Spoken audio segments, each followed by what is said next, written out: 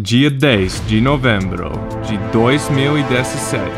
De um lado, um país que tem mais de 300 milhões de habitantes, um país que tem a reputação de produzir alguns dos melhores atletas do mundo. E do outro, um país com um pouquinho mais do que um milhão de habitantes, um país em que o campo de futebol parece mais um campo de uma escola de ensino médio dos Estados Unidos. Tudo o que os Estados Unidos tinham que fazer era ganhar desse país para se qualificarem para o Copa do Mundo.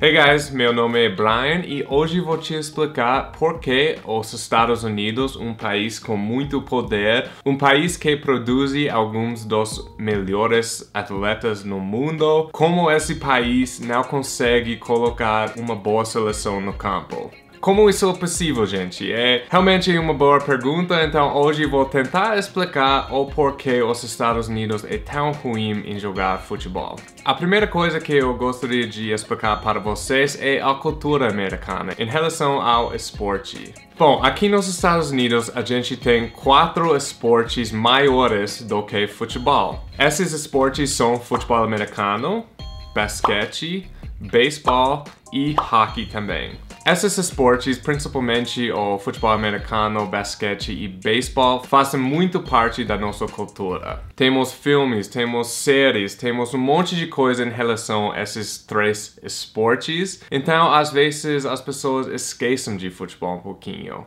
E a coisa que eu escuto muito dos outros americanos que não gostam de futebol, eu sou um americano que gosta muito de futebol e vou te contar depois sobre as minhas experiências com futebol aqui nos Estados Unidos. Mas a maioria das pessoas pensam ou acham que o esporte de futebol é meio chato. E chato no sentido que não tem muito ação durante o jogo. Essas reclamações são muito comuns aqui. Mas para mim, o esporte mais chato para assistir às vezes é futebol americano. Porque esses jogos demoram até 4 horas. Então você tá na arena assistindo o jogo por 4 horas, você tá na sua casa, no sofá assistindo o jogo por 4 horas.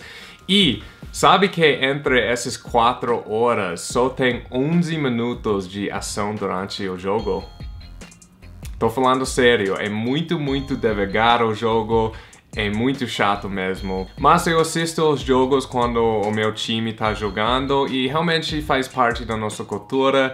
Quando os Broncos estão jogando, a cidade tá fechada, todo mundo tá assistindo o jogo. Então, temos esse costume de torcer para um time de, de esporte, mas na verdade tem quatro times na minha cidade que são mais populares do que o time de futebol. Então, assim é difícil para, para os fãs de futebol, porque não tem muitos fãs de futebol aqui nos Estados Unidos. Eu acho que esse sentimento sobre o esporte de futebol entre os americanos atrapalha o crescimento do esporte aqui. Na questão de os jogadores, é importante entender o sistema de esporte aqui nos Estados Unidos. Eu não estou falando sobre o NFL, o NBA ou MLS, eu estou falando sobre o sistema para as crianças jogarem esportes. É um costume muito comum aqui nos Estados Unidos para você jogar é, futebol quando você é criança, você vai no sábado para o parque, você vai jogar. Você vai ver isso muito nos filmes americanos e muitas crianças jogam futebol aqui nos Estados Unidos. Mas o problema vem depois de quando você é criança. Bom, eu vou falar sobre minhas experiências com esportes aqui nos Estados Unidos. Eu sempre jogava futebol. Eu joguei futebol por 10 anos. Mas o problema é que as crianças aqui nos Estados Unidos normalmente jogam 2, 3, 4 esportes durante um ano, dependendo da estação. Então, às vezes é difícil para uma criança focar em só um esporte. Eu sempre jogava futebol no outono, eu sempre jogava beisebol no verão e primavera, e no inverno eu jogava basquete. Então, durante um ano eu jogava quatro esportes. Então, foi difícil ser muito, muito bom em só um esporte. Então, isso acontece com muitas crianças aqui nos Estados Unidos. Tem outras opções além de futebol para outros esportes jogar. Mas algumas pessoas param de jogar os outros esportes e elas focam em só um esporte. Mas o esporte que eles escolhem quase nunca é futebol. Os melhores atletas sempre escolhem os outros esportes, futebol americano, basquete, beisebol, esses esportes. Então é difícil para os Estados Unidos crescer os melhores atletas para se tornar jogadores de futebol na seleção. Queria contar uma história para vocês rapidinho. Quando eu era criança, tipo 6 anos, 7 anos, 8 anos, 9 anos, minha escola gravou uma entrevista comigo. Cada ano eles fizeram uma entrevista comigo, perguntando qual é sua comida preferida, quais são suas hobbies, qual é seu livro preferido, essas coisas. Então, outro dia eu estava assistindo e uma das perguntas é o que você quer ser quando crescer? E minha resposta me surpreendeu, porque, como eu falei, eu sempre amava jogar futebol. Algumas das melhores memórias que eu tenho são na, no campo de futebol. Então, quando eu falei eu queria ser, ou eu quero ser um jogador de beisebol, me surpreendeu. Então, depois de assistir a entrevista, eu, eu, fiquei pensando, tipo, por que eu não queria ser um jogador de futebol profissional? Porque minha resposta não era quero ser um jogador de futebol. E depois de pensar um pouquinho, eu acho que eu sei a resposta.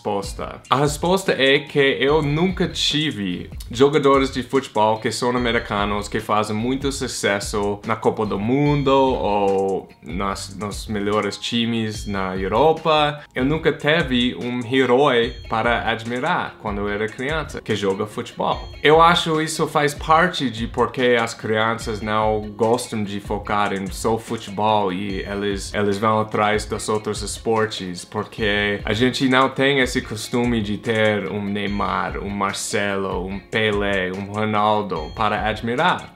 Simplesmente não tem nenhum. Às vezes os Estados Unidos têm um bom jogador, mas eles vão jogar para não os melhores times da Europa como, como os brasileiros estão acostumados, né? Porque vocês têm, têm jogadores em todos os melhores times. Mas nosso melhor jogador hoje em dia é um cara que se chama Christian Pulisic. Ele joga para Borussia Dortmund. Mas isso não é um dos melhores times na Europa, né? Então não temos essas estrelas de futebol para admirar. E eu acho que isso atrapalha o crescimento do esporte também. Porque quando você é criança e você tem os heróis, você quer ser igual deles. Então, meus heróis eram jogadores de, de beisebol e não futebol. Então, eu sempre falava, eu quero ser um jogador de beisebol em vez de um jogador de futebol. Outra coisa sobre os jogadores é que aqui nos Estados Unidos, jogadores de futebol não ganham muito dinheiro.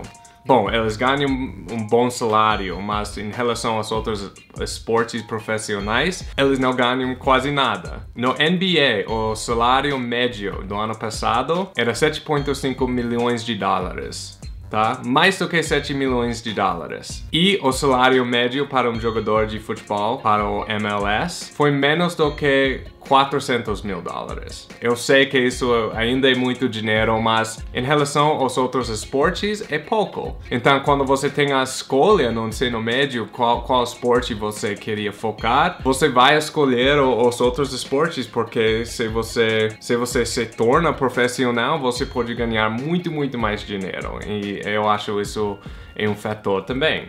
E falando sobre o MLS, é, sempre está crescendo, sempre está tendo novos times em outras cidades. Mas os melhores jogadores são os jogadores da Europa que estão no fim do, das carreiras deles. Então eles vêm para os Estados Unidos jogar dois ou três anos. Então eu acho que isso não faz muita diferença no crescimento do MLS, porque primeiro as pessoas dos Estados Unidos não conhecem esses jogadores. É um pedacinho da população que conhecem esses jogadores. Então nem é uma notícia aqui nos Estados Unidos. Eu acho que para o esporte realmente crescer e para os Estados Unidos realmente ter uma boa seleção, o sistema de esporte aqui nos Estados Unidos precisa mudar, porque você não pode ser muito bom num esporte quando o esporte é a quinta esporte mais popular no, no país. Então, gente, espero que vocês aprenderam alguma coisa nova sobre os Estados Unidos e por que os Estados Unidos é tão mal em futebol. Se você é novo aqui, não esqueça de se inscrever no canal. E é isso, gente. Espero que vocês tenham uma boa semana e tchau, tchau.